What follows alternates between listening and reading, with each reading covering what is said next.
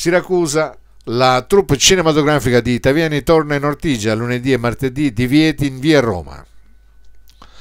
Lunedì e martedì prossimi, 17 e 18 maggio, la troupe cinematografica diretta dal regista Paolo Taviani tornerà a Siracusa per girare altre scene del film Leonora Addio.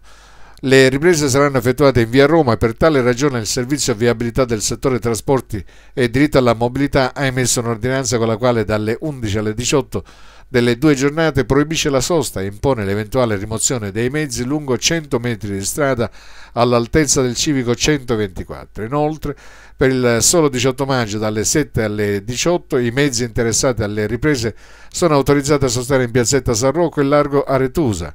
la troupe di Paolo Taviani aveva già girato in Ortigia altre scene del film nello scorso mese di ottobre.